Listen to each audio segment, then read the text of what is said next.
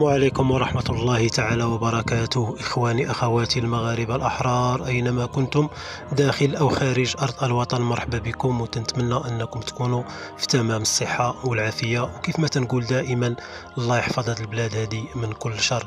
إذا إخواني أخواتي وكيف ما شفتوا يعني في العنوان مستجدات القضية ديال مسقوط الوالدين ديال مكناس اللي اعتدى على الأم ديالو وعلى الأب ديالو في فاجعة اللي هزات الرأي العام الوطني هذا الأسبوع.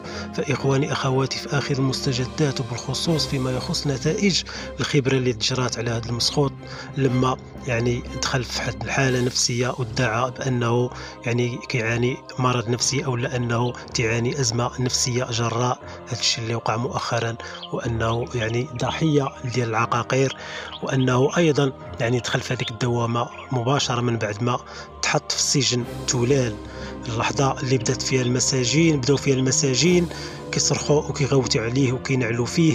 في هذيك اللحظة يعني مباشرة بدأ كيصرخ ومن ثم دخل في هذيك التمثيلية ديال أنه مريض نفسي. فاخيرا يعني ومن بعد ما تم العرض ديالو عند وكيل الحق العام وكيل جلالة الملك بمدينة مكناس. فلما تم العرض ديالو على وكيل الملك الوكيل أمر باش أنه تجرى عليه واحد الخبرة لدى يعني الطبيب الشرعي ديال النفس.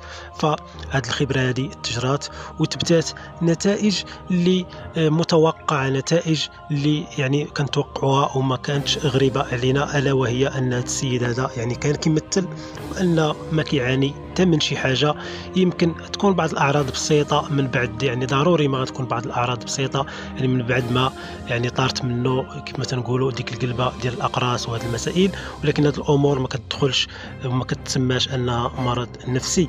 فهنا كيف ما قلت فلا التمثيليات ديال هذا مسخوط الوالدين ولا جميع يعني الأمور اللي نكر سواء يعني النكران ديالو بأنه يعني قدم على ذاك الفعل الشنيع في الحق الأم ديالو سواء النكران ديالو المجموعة ديال الأشياء ومجموعة ديال التهم اللي ولات كتلفق ليه اللي منها الكريساج ومنها مجموعة ديال الأمور. رفقة مجموعة ديال الشباب اللي ربما غادي يتم التحقيق معهم وغادي تستدعاو لأنه هناك اتهامات جديدة بخصوص كيف ما قلت الكريساج لكن بخصوص هذه الخبرة فكيف ما قلت إخواني وأخواتي تبتات بأن هذا السيد هذا مسخوط الوالدين هذا الشاب اللي كيبلغ من السن 27 سنة أنه ما كيعانيش. ما كيعاني حتى من شي مضاعفات نفسية من شي مرض نفسي اللي ممكن أنه يعرقل سير المحاكمة ديالو واللي أكيد واللي كيف ما تنطالبوا كيطالب كيطالب جميع المتتبعين وأيضا الرأي العام الوطني بان تكون عقوبة مشددة. عقوبة مشددة يعني انطلاقا من هذاك الفعل الشنيع اللي ارتكب في حق الأبوين ديالو وفي حق الأم ديالو الأمومة بصفة عامة. اذا إخواني أخواتي فبخصوص يعني أيضا يعني التشريح ولا الخبرة الطبية اللي كانت جرات على الأم فهي أيضا تبتات بأن فعلا هذاك مسخوط الوالدين ارتكب كل تلك الأفعال اللي يعني صرحت بها الأم سلفا. فهنا فما بقى عدد الإبن العاق حتى شي حاجة أنه ينكر بها هذا الفعل الشنيع أو لأنه يتملص من المسؤولية ومن العقاب اللي غادي ينتظروا.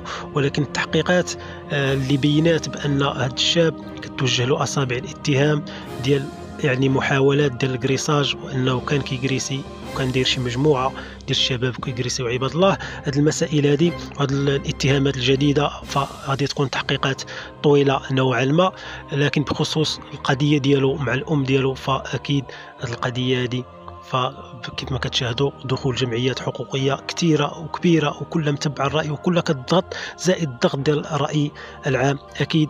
فالقضية غادي تحسم في ظرف أسابيع قليلة وأكيد غادي نشاهدوا واحد العقوبة اللي أكيد غادي يكون يستحقها هذا المعتوه هذا الشاد نفسيا هذا الإبن العاق. اللي بكل صراحة آه، فجعنا ويعني وهذا الأمر اللي ارتكب في حق الأم ديالو فهو أمر شنيع ويستحق عليه أشد العقوبات. إلى هنا إخواني أخواتي يعني جيت الختام ديال هذه المستجدات بخصوص القضية ديال هذا مسخوط الوالدين ديال مكناس. فانا معكم إن شاء الله فين ما تبان شي يعني أخبار وجديد بخصوص هذه القضايا والقضايا الأخرى أيضا اللي كنتبعها واللي كنتشرك المعلومات ديالها آه، معكم. فإلى هناك إخواني أخواتي أدعوكم إلى دعمنا بلايك الفيديو. أيضا اللي لأول مرة كيشاهدنا أنه يشترك في القناة ويفعل زر الجرس باش دائما يتوصل بالجديد ديال القضايا والأعمال اللي كنقوم بها. السلام عليكم ورحمة الله تعالى وبركاته.